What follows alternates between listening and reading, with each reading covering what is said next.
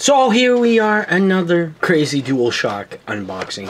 This is, I like, I, I like that, wave, wave blue, wave blue color.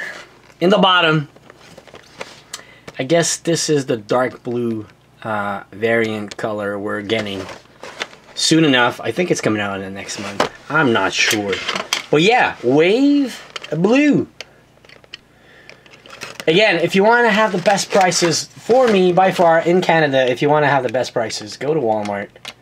They're a lot cheaper. If you're crazy like me and you want to complete your DualShock collection in all the nice colors, so far, I think, uh, I don't know, there's 10, 9 colors? I can't, I would say around 8 or 9. Anyways, I'll do a final count when I've done my full collection until I find the store exclusive of Walmart, the crystal blue one. So this is wave blue, and again, check the bottom, darker blue, shades of a darker blue.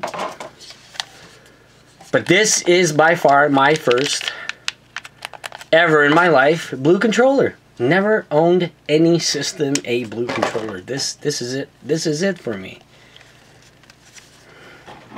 So red versus blue. Pick a side. Red or blue.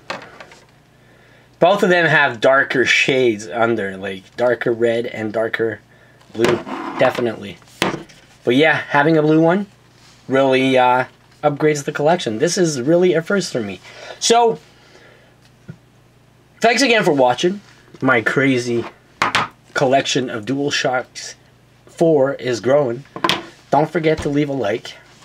YouTube somehow asked me to ask in my videos. Don't forget to leave a like. So smack that like button, people, please.